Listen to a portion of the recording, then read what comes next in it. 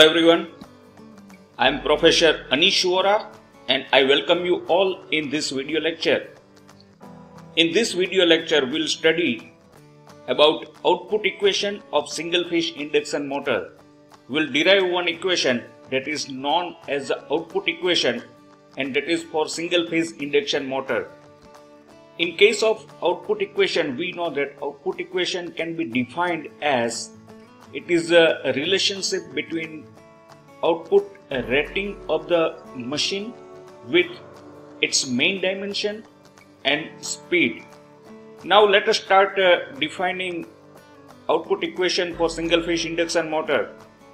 So KVA rating of the single phase induction motor that is uh, Q and uh, it is equal to product of rated voltage and rated current multiplied by 10 raised to minus 3 to convert VA rating into KVA rating. And that can be indicated as product of V multiplied by I and multiplied by 10 raised to minus 3. And let us call it equation number 1 where uh, I is equal to full load current in the main winding in ampere and V that is the rated voltage voltage can be given by this equation V that is equal to 4.44 multiplied by flux phi multiplied by frequency F multiplied by turns of the main winding that is Tm multiplied by Kw that is the winding factor. And for frequency we know the equation that is uh, F is equal to P by 2 multiplied by ns ns that is the synchronous speed in revolution per second. Now we have these two equation and let us substitute both the values in equation number 1 one by one. First we will introduce we will substitute value of uh, v and then the value of frequency f so if we substitute then the equation for q that becomes Q is equal to 4.44 flux phi multiplied by frequency F multiplied by turns of the main winding Tm multiplied by Kw and multiplied by I multiplied by 10 raised to minus 3. Now let us substitute value of frequency F into this equation and then our equation becomes 4.44 multiplied by flux phi multiplied by P by 2 multiplied by NS multiplied by Tm multiplied by Kw and uh, multiplied by I and 10 raised to minus 3 where flux phi that is the flux per pole in Weber Tm that is number of turns of the main winding P that is equal to number of poles Kw that is winding factor and ns that is synchronous speed in revolution per second. So when we rearrange the equation then it becomes q is equal to 1.11 multiplied by kw multiplied by product of uh, p and phi that is our total magnetic loading multiplied by 2 times tm multiplied by I and that group is known as our total electric loading and multiplied by synchronous speed ns multiplied by 10 raised to minus 3 and let us call it equation number 2 specific uh, electric loading. We know that uh, it is uh, indicated by AC and that is equal to Z Z is total number of conductors multiplied by Iz. Iz that is the current passing through the conductor and divided by pi d where d is uh, our stator bore diameter. Current in each conductor Iz that can be also given as uh, I and total number of stator conductor Z that is 2 times turns per phase and uh, that is 2 times Tm. Tm is uh, our tons of the main winding. So specific electric loading equation now AC becomes equal to 2 times Tm multiplied by I and divided by pi d. So if we rearrange the equation then 2 Tm I becomes equal to AC multiplied by pi d. Now let us substitute this value in equation number 2. So Q is equal to 1.11 kW P phi. Now we have substituted value for 2 TMI and that is equal to AC and pi d.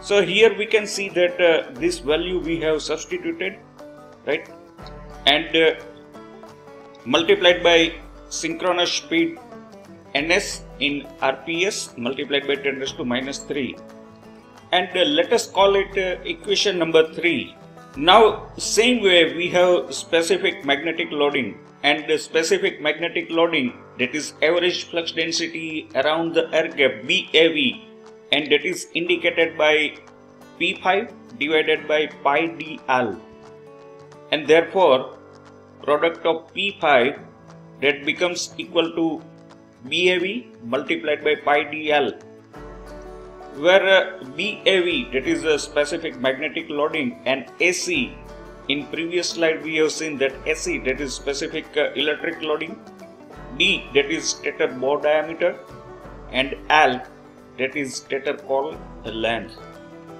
Now let us substitute uh, this value of uh, product of P phi in equation number 3 then equation number 3 becomes Q is equal to 1.11 kW and now we have substituted this value pi dl and BAV.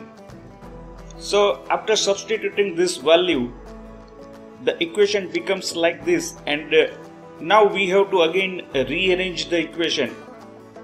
If we do the proper uh, grouping and uh, if we rearrange then equation becomes Q is equal to 1.11 pi square BAV AC multiplied by kW multiplied by 10 raised to minus 3. So this is one group and multiplied by d square L. d square L that is uh, our volume of the machine and multiplied by ns that is synchronous speed in revolution per second. So it becomes CO multiplied by d square L multiplied by ns. For this group 1.11 pi square BAV AC kW 10 raised to minus 3 we have substituted this value CO right and now it is called as a output equation and let us call it uh, equation number 4 so this is our output equation for single phase induction motor where CO that is 1.11 pi square BAV AC kW and multiplied by 10 raised to minus 3 and it is known as a output coefficient. From the output equation we can write this equation that d square L, d square L is the volume of the machine and that is uh, equal to Q divided by CO and uh, synchronous speed ns. From this equation we can say that uh, volume or d square L that is inversely proportional to the output coefficient and synchronous speed. From the this relationship between volume of the machine with output coefficient and synchronous speed, we can say that the volume of the machine d square L is reduced if designed for higher speed, thus decreasing the size and cost of the machine. Because d square L volume is inversely proportional to the synchronous speed. So if we go for higher speed, then uh, volume or ultimately size and cost of the machine can be uh, reduced. The larger the value of output coefficient, the smaller is the size of the machine. So same way, again, volume is inversely proportional to the output coefficient. So if we uh, increase the uh, value of output coefficient, the size of the machine will reduce. output coefficient is larger if machine is designed at higher specific magnetic and electric loading which ultimately results into reduction of size and cost of the machine.